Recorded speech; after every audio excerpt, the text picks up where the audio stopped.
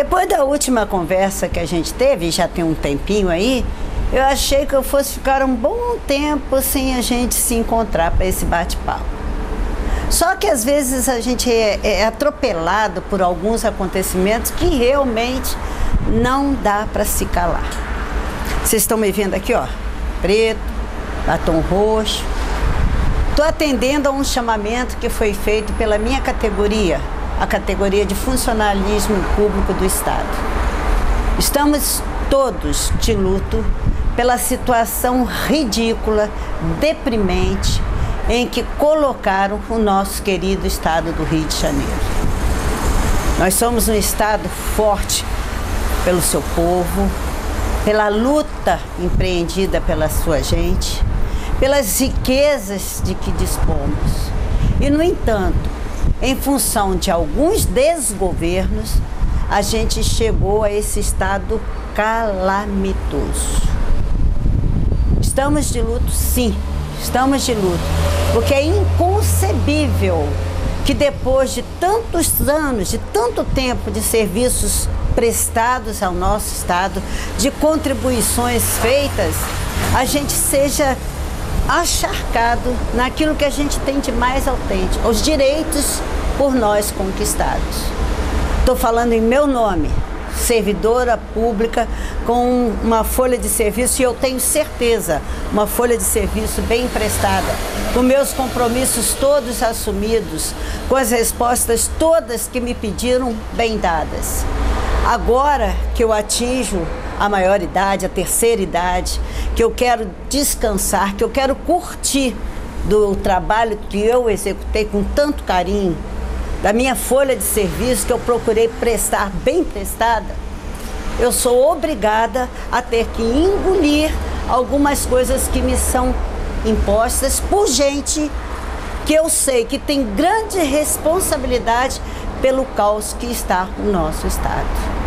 Então eu estou aqui hoje para mostrar não só a minha, eu tenho certeza, a indignação de toda a população do estado do Rio. Nós seremos atingidos. Nós, servidores públicos, ativos ou inativos, nós somos enormemente prejudicados com essa proposta, se é que a gente pode chamar de proposta, que foi pelo governador Pezão apresentada. Nós vamos ser prejudicados, mas não tenho dúvida, todo o Estado será prejudicado.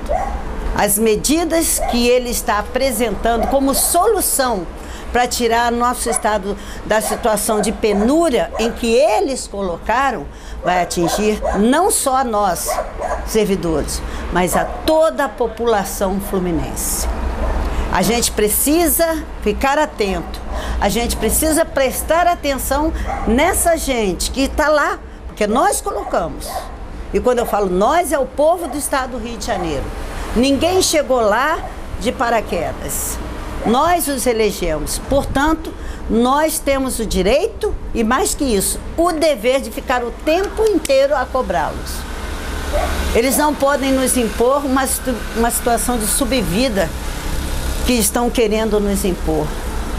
Essa, essa, essa cobrança do imposto sobre pessoas que ganham menos de 5 mil 30%, um cidadão que ganha mil reais por mês vai ter 300 reais retirado do seu salário. Quando já a gente sabe que tem gente que o que ganha já não dá para as suas principais necessidades, como é que a gente pode aceitar uma situação dessa que está sendo imposta goela abaixo? Ainda bem, ainda bem que ele não tem autonomia para fazer isso sozinho.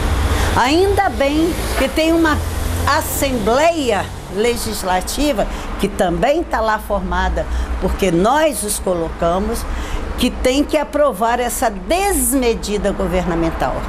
Então, senhores deputados, estamos confiando nos senhores. Acreditamos com certeza que vocês não vão permitir que o cidadão fluminense, que nós, servidores, que a população deste estado seja de uma forma tão vil esmagada. Pense nisso, pense com carinho e vamos continuar lutando de preto, de branco, de vermelho, de amarelo, mas juntos, lutando por nossa dignidade. Eu conto com vocês. Até a próxima. Caminhando e cantando e seguindo a canção, somos todos iguais, braços dados ou não, nas escolas, nas ruas, campos, construções, caminhando e cantando e seguindo a canção. Vem, vamos embora, que esperar não é saber. Quem sabe faz a hora, não espera acontecer. Vem, vamos embora, que esperar não é saber. Quem sabe faz a hora, não espera acontecer.